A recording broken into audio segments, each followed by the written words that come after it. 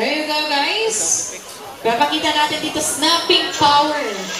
O kaano kaya kalakas ang snapping power ng isang crocodile? Pasakay na yun dyan. Ayan to. First move! Very good. Diba? First move pa lang. Ako. Amoy na basak ba? Wala pa, wala pa. How about next move?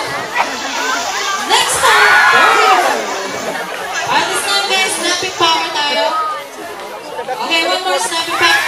Ayun! Sinasabi na nga ba? At time, guys, body power naman po tayo.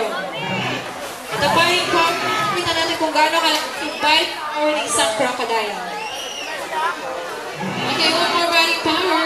At para po sa kanilang lahat, parang drum yan. Umaabot na 2,600 kilograms at mas malakas pa sa kagat ng isang great white shark. Uh, mukhang ayaw na po yan. One more. Ang mga ayaw na ni Pangil. Ayun, parang drum guys. Ano na to? Last three moves tayo, Kuya Jay.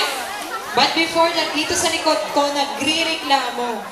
Hindi raw nababasa. Basahin nga natin, Kuya, dito.